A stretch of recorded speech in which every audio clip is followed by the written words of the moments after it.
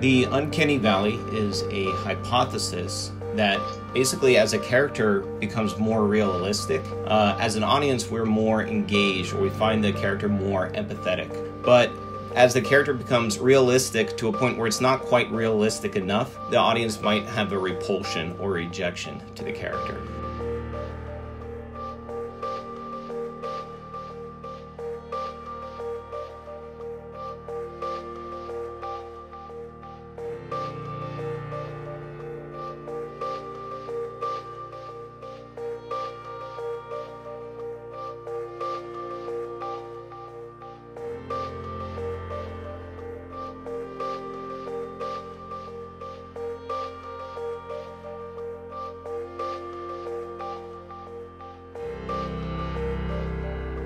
When we're in the uncanny valley, things are looking off, and it creates a feeling of mortality.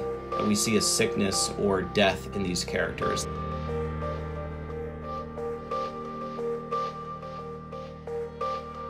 And that's because of the design of the characters. We have big blue people with big eyes, and the more we stylize these characters, the less likely we are to fall into the uncanny valley.